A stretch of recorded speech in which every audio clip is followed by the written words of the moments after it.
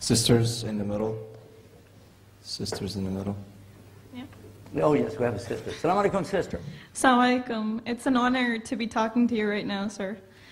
Mm, My name is Sindhus, and I'm currently a student, and uh, I study with lots of non-Muslims. And uh, I'm faced many times with the question, if there's a God, why are there bad things in this world? I love that question. I love that question. You know why I love that question? Because I used to have the same question. And anything and everything I looked at never answered that question until I came to Islam. That for me is one of the clearest proofs. If you really want to use your brain and think about what's going on around you and think about religion and a belief pattern or system, really you need to look at Islam. You really need to look at it because it's the only one that gives you the answer. Because Islam never demands from you blind faith. Never. The only thing we are told in Islam, the only restriction, don't try to imagine what Allah is like. Don't imagine what Allah looks like. Don't get into that area because you can't. You'll, just, you'll destroy your own brain. Other than that, ask. And on our website, watch out, here comes a commercial. On our website, islamnewsroom.com, we have that article featured more times maybe than almost anything else. If there's a God, why all of this chaos in the world? And that's our subject today, isn't it? All this chaos in the world. Tornadoes, earthquakes. We have an earthquake page on that same website. All about earthquakes. It updates every few minutes. You can see where the earthquakes are right now. And they have increased in intensity, just like Prophet Muhammad said they would. Tremendous number of earthquakes today. Several hundred earthquakes have happened since I've been giving you this speech right now. Go there and check it out.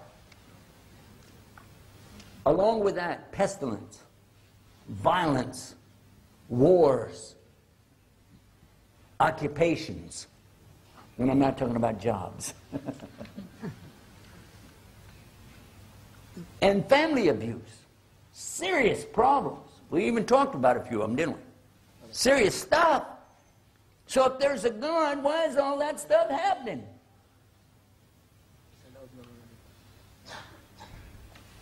It means the person asking the question doesn't even have the basic understanding of what Islam taught. Islam never taught us that this was the Jannah. Huh? What? You thought you were in paradise? Is that what you thought? Look what Prophet Muhammad, peace be upon him, said. He summed it up with one of the simplest, most beautiful little teachings you could ever imagine. When it comes to why do bad things happen to good people, that's how I titled the, the lecture about this originally years ago. Prophet wasallam, he said, "Adunya sijnul mu'min wa jannatul kafir." This material existence that we're in, called hayat dunya, life of this world, is a prison to a true believer. But it's the only paradise to a disbeliever. He narrowed it down to two things believers and disbelievers. We know as believers that this is the hardest thing we're going to go through. Because when this is over, that's it. It's done. It's done. You're not going to be put in any more tests. But you start seeing the results of the tests. You know how that goes. But for the disbeliever, this is their paradise. And that's why they want so desperately to build the big things here the fancy cars, the beautiful homes, the best of clothes. You know what I'm saying? You know, strut your stuff, baby. Okay. This is what they're looking for. But our Prophet ﷺ, he told us, and this is another hadith, to clarify it even more. Because some of the companions were concerned about the same thing that you're concerned about with your question. He said two people will be brought on the day of judgment. One of them, he had everything he asked for in this life. Even to the extent when he was dying, he wanted a feast set before him, and he got it. The other person, he didn't get anything he asked for. Even to the extent when he was about to die, all he asked for was just a drink of water. And he didn't even get that. Now, on the day of judgment, the one who had everything, he would be pushed into the hellfire. Like you put a needle in something and pull it out. Just in that instant. Whoop, whoop. And then, it's not in the hadith. That whoop, whoop is not there. Don't look for that. He would be asked in your whole life, remember he had everything. In your whole life, did you ever see any good? He'd say, Well, Lord, in my whole life, I never saw anything good.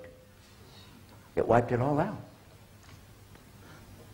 The other man that had nothing, suffered in this life, would be put into paradise. like you put a pin in something and pull it out. And then he would be asked, In your whole life, did you ever see anything bad? He would say, Well, why? In my whole life, I never saw anything bad. No hardships. So the companions, still not quite satisfied with that one, they said, yeah, but, okay, so why this guy who had everything has to go to hell and why the other guy goes to paradise? Oh. And Prophet made it real clear. Nobody's perfect. Well, yeah, duh. I'm one of those not perfect guys. He said that nobody is perfectly good and nobody's perfectly bad.